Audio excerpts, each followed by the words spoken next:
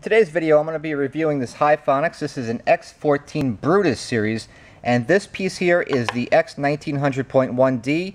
So this is a monoblock subwoofer amplifier only, grunt force power, super D class is what they call it. Um, now this one here is compliant, and I want to first make that notation because it is here on this box and when I see these types of things I become very leery of them. But you see here it says amplifier power standard CEA 2006 compliant. What that means to the consumer what you should know about these types of ratings when you look for an amplifier this is a very good feature to look for because this is basically telling you that what's on the bottom of this box which I want to show you all this mumbo jumbo, all these specifications are all true to the fact. So what this box says is what this amplifier will do. Unlike a cheaper, lesser quality type of amplifier or something that's going to do a whole lot of show and no go. Now, although this amplifier is beautiful, it's, it's very, very easy on the eye by far. Um, this lights up, but again, don't let that fool you into thinking that this is some lower end amplifier because this, my friends, certainly is not. Um, everything about this amplifier, almost everything, is really, really good quality. I'm going to show you why. Right here, the bass knob, although it's only uniformly able to be mounted in one position, you could dehouse this thing, of course, voiding your warranty to make this a smoother install for a flush mount bass knob. On the back, you have an 8-pin Ethernet style plug. Okay, you can see that this, even look at the hardware. Not those cheap, you know, chinky screws. I mean, this is all well really built. Um, everything flows very nice, fits very nice. Ethernet type of style plug. So you can see it's, a, again, 8-pin, 4-pair.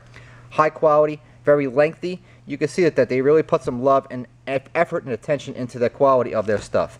And again, I love to see that kind of stuff, and this is the kind of stuff I love to review because I hate just bashing the heck out of stuff. It's nice once in a while to see something that's good. So that's why I want to take my time and show you about this. Now, I've been a Hifonics dealer back when it was just Hifonics. I know, I don't know how many years ago now, but 10 years or so when Maxxsonics bought out the company, I expected them to just destroy it, make money off the name until they just annihilated it and it just went by the wayside. That is definitely not what they did. They kept this amplifier respectable and I love that. Now here's a little tip for anybody who's going to go out and buy an amplifier. And I've shared, shared this, this tip with a lot of people in the past. They were very grateful, so I'm going to say it again. Whenever you're buying an amplifier, and here's what uh, keyed me off is when I when I opened up the amplifier, it came with this extra hardware um, and this extra fuse. And I said, hmm, 160 amp fuse. That prompted me to look at how many fuses were on there. Now, if you don't know what voltage law is, what that means is that in a in a pie chart, if you had voltage, amperage, and wattage, if you know the answer for two of them, you can always get the third. Now, you know that this is going into a 12 volt vehicle. You know that you have 60 amps times 2, so you have much 120 amps you multiply the amps times the volts, that's going to give you the output in wattage. Okay? Not to say that it's going to do exactly that in wattage because you would have to have, you know, a tester, some pretty sophisticated equipment, which I have some of here, and I did rate this amplifier. This amplifier by dynamic power does create everything that this box says it will do.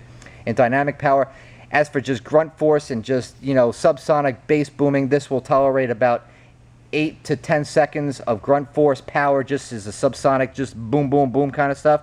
This amp actually does what it what it says it'll do and that's good enough for me.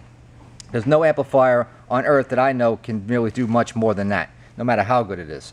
So over here on the side you have all these strip terminals these machine screws. So you have your ground which is, is a solid it's about a 4 gauge 12, uh, 12 uh, positive 12 volts, sorry. Uh, over here on the other side, in the center you have your remote. Two fuses, one extra that they give you, which is nice. Um, and over here it says a mono amplifier, so it doesn't matter if you're running um, a configuration in stereo because this thing just simply is not capable because this is a mono amplifier. Now there are a whole bunch of other models in the series which are four channel, two channel, you know, as well as the mono channels. Um, but for my my review, I'm going to just tell you like it is. So this one here, you could just connect as many as you want to negative and positive. It doesn't matter if you do left positive, right negative, or any of that stuff. It just does simply doesn't apply on a mono amplifier. They just give you the two strips just to be generous. So if you have like two woofers, instead of jamming them all, all the wires into the two holes, they give you four. Which is also a nice feature about this system is that they give you this which is really good and it's a good way to educate consumers. And I am all about educating consumers, obviously, which shows you how to do single voice configuration, series, parallel, combo of the two.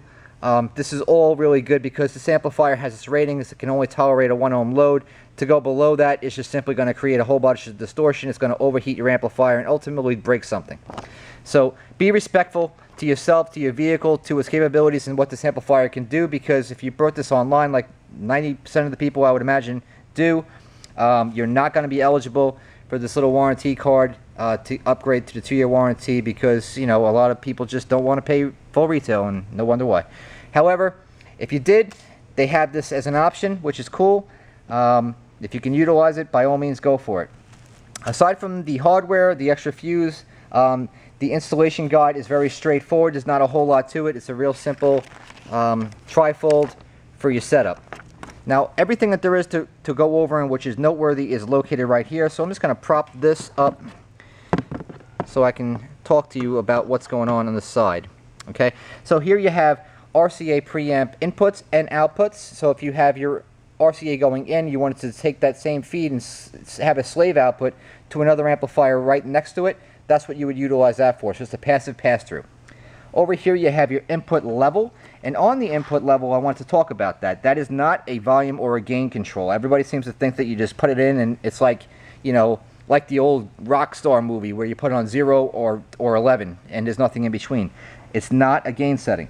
The right way to tune these things is to turn the head unit off, confirm that the primary volume control is turned down all the way counterclockwise, turn on your head unit, preferably a CD source. Make sure you balance your fader, bass, treble are all set to the center or zero adjustment.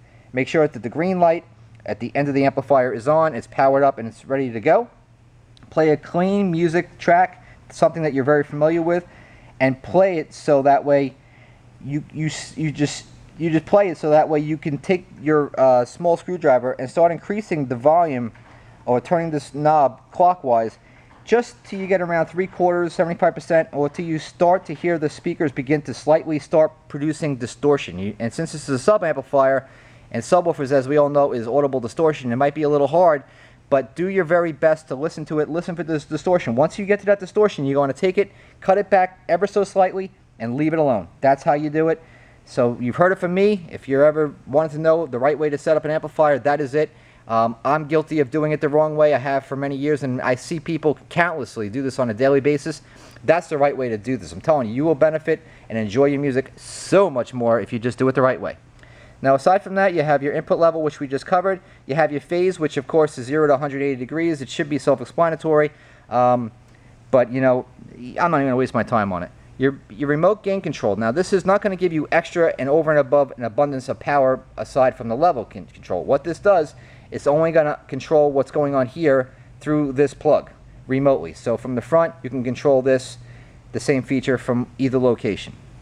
Your bass EQ, which is 0 up to 10 decibels, you got that. Now, that's pretty straightforward as well. Um, you, uh, most people just leave it on, on flat. You know, I'm impartial to it either way. Subsonic, you should have, basically if you have a vented enclosure and your box is tuned to say uh, 30 hertz.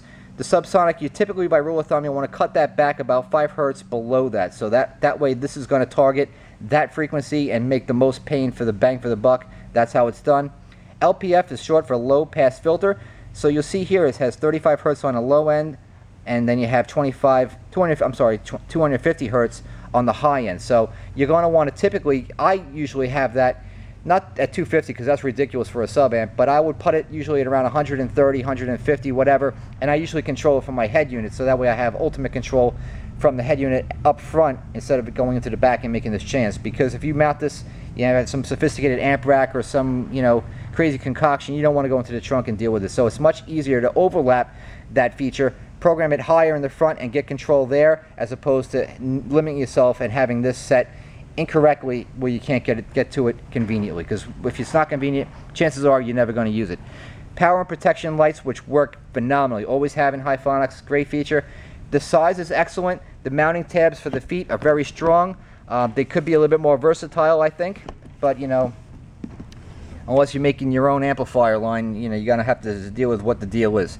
Um, they put these little stickers on there, so if you, you, get in there and start screwing around with stuff, you're not. On the bottom of the samp, you'll notice that they have these little air vents, which I think, in my opinion, is a little bit weird. I think they should have placed those on the sides. I think that would have been a little bit better.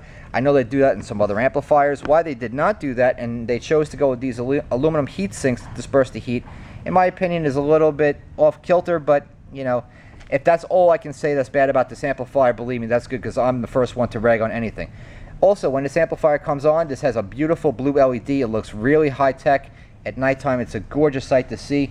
So all in all, these Hifonics amplifiers are awesome. And they even have an Elite series, so if you're looking for something even more hardcore to hurt yourself with, check those out as well. Um, their site is maxxsonics.com with two X's. Um, it's a great piece. So there's my take on the Hifonics Brutus series amplifiers.